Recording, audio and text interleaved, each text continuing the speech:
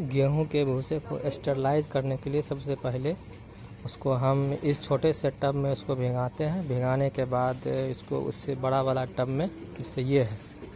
ये बड़ा वाला टब में इसको रखने के बाद फिर इसी से निकाल करके हम ये ये देखिए, उबालने वाला टब में बड़ा सा बर्तन में गंद में रख देते हैं।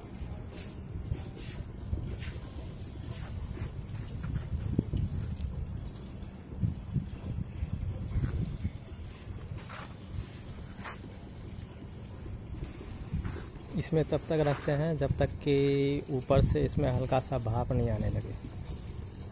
भाप आने के बाद इसको हम निकाल करके इस तरह से फर्श पर फैला देते हैं। और उसके बाद पैकेजिंग करते हैं। हम्म। अब जैसे इसमें ये तुरंत निकाला हुआ है। अभी तुरंत निकाला हुआ है ये। और ये कुछ देर पहले का निकाला हुआ है। इसमें मॉइस्चर भी हम लोग देख सकते हैं। मॉइस्चर देखिए इसमें पकड़ने के बाद ये देखिए मुट्ठी नहीं बना रहा है। जैसे के तैसे गिर जा रहा है। और हाथ में हल्का सा हल्का सा पानी का फ़िल्म बन रहा है। तो ये देखिए। तो इस तरह से दुधिया मशरूम और ऑस्टर मशरूम को बनाने के लिए भूसे को स्टरलाइज करते हैं। तो देखिए।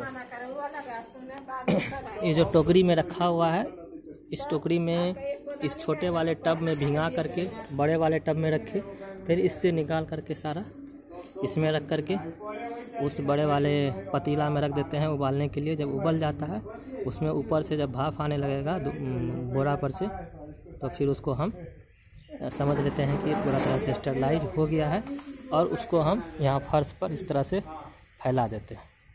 और उसके बाद बैग में पैकेजिंग कर लेते हैं। तो यही है दूधिया और ओस्टर मशरूम को कंपोस्ट को स्टरलाइज करने का तरीका। हाँ आप बोलिए। ये हो गया। हाँ ये होने वाला है। ये हो गया है। देखिए, इसमें, देखिए, पकड़ेंगे जब हम, इसको पकड़िए। इसको जब पकड़ते हैं हम तो देखिए पकड़ने के बाद इसमें ये पूरा बिखर जाता है मुट्ठी नहीं बनाता है और हाथ में हल्का सा पानी का फ़िल्म लगेगा। तो इस तरह से हम समझ आएँगे कि हाँ इसमें मॉइस्चर भी सही मात्रा में है। अब ये पैकेजिंग के लायक हो गया। ये भी भूसा जितना है। इस पर हम पैकिंग मतलब इतना पर हम पैकिंग इसका हाँ हाँ। कर सकते हैं। हाँ हाँ इतना पर आप पैकिंग कर सकते हैं। ये मॉइस्चर जो है अब इसमें सही मात्रा में है।